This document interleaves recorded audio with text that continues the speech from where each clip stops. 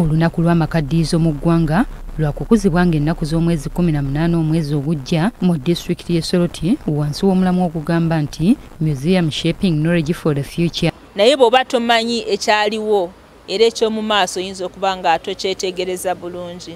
Ate kati kyekiva thiimu yaffe eya international egamba education for research kati naffe ne tugamba eyaffe eya national ebeere museums shaping for future knowledge. Okusinziira ku bakugu ba minisitule y'ebyobulambuzi amakaddiizo ga muwendo nnyo kubanga gayigiriza abantu ebintu eby'enjawulo eby'enkizo ebyaliwo okusobola okubitegeera. Ebintu bino okubeera mu museum mwe abaana baffe bwe bajja ne bayiga ne bamanya kiki kyaliwo edda kiki ekiriwo leero kati future yaffe efaanana etya? Jacklin nyirakiiza kamisona w'amakaddiizo agamba nti ekiseera okwongera amaanyi mu kutumbula amakaddiizo abantu bongere okwenyumiriza mu bintu eby'edda. So kati twagala amakaddiizo gano gasobole okuyamba eggwanga.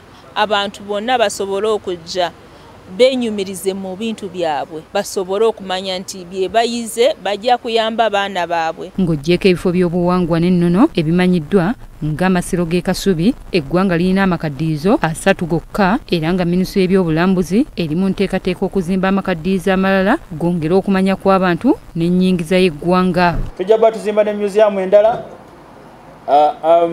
emoroto okwongera ku museums endala zetulina okutwaliza awamu. Tulina amakaddiizo malala abiri erimu liri kabaale erirala liri soroti naye tuli mu kuzimba ne karamoja.